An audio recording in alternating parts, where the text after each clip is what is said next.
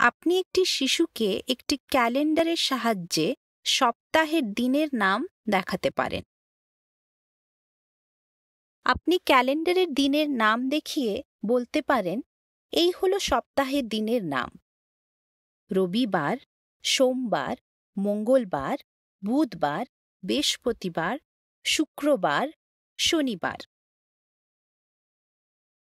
প্রত্যেক দিন আপনি ক্যালেন্ডারের সাহায্যে সেই দিনটি কোন দিন এবং পরের দিন কোন দিন শেখালেন? যেমন ধরুন, আপনি সোমবারের দিকে দেখিয়ে বললেন, আজ সোমবার, আজ আমরা মিষ্টি বানাচ্ছি।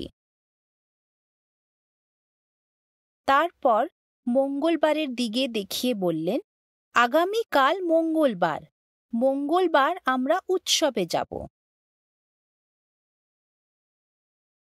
সপ্তাহে দিনের নাম পরপর শিখলে শিশুটির সময় জ্ঞানের ধারণা হবে।